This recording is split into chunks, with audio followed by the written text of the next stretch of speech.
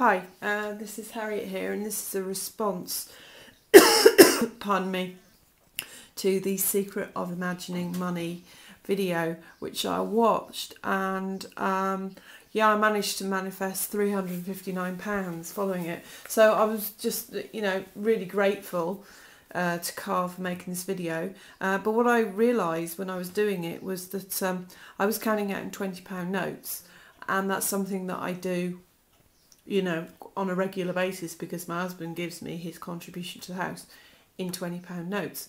And so this made me think that it's a really good idea to actually have some notes and, you know, count them regularly. So what I've done is I've gone to the bank and I've got four £50 notes. Now, these are something that we really rarely see in Britain. So what I want to do is to just sort of run through and partly for myself, but partly for anyone else out there, just run through and describe this because in the video he says, you know, just study it. So this is this is me sort of studying my fifty pound note, um, and hopefully it'll help other people, especially if they can't get hold of any any notes. So yeah, this is the this is the front. It's got Queen Elizabeth on the front. Um, on the top left, you've got the fifty, Bank of England.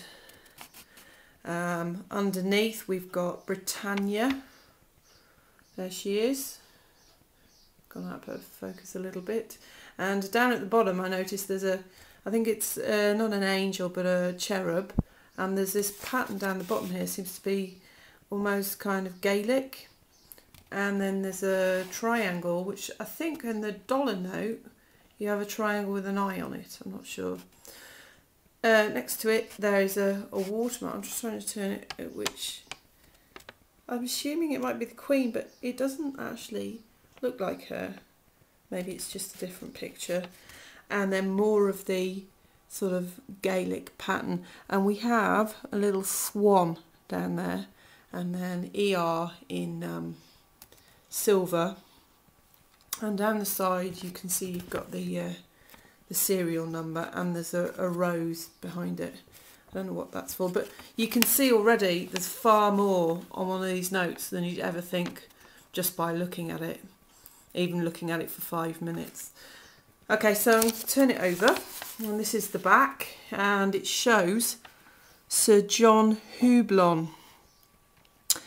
And um, it says here, down here, he is the bank gatekeeper or could this gentleman above him be the bank gatekeeper? I'm not quite sure. And then you've got a picture of his house. And then, um, yeah, I'm assuming that's him in this uh, this inset here. And it says 1694 to 1994. Um, and then there seems to be some kind of ray, ray of light pattern and then we have the uh, watermark of the lady who may or may not be the Queen. And then we have Sir John Houblon and his signature underneath.